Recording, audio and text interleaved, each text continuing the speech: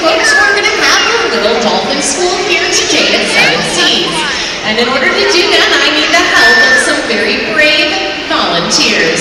So if you are interested in helping us, please raise your hand. I'll take the gent in the green shirt down front. You're going to follow me all the way this way.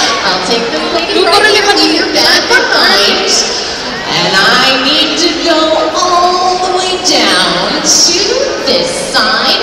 And I will take the gent in the red coat, third row, with his hands up. So, sir, if you are interested, you folks are going to be coming on down. And you'll be working today with Molly. And we're going to take a look at one of the unique ways dolphins learn from one another. It's a process called mimicry, and it's a dolphin see, dolphin do style of education.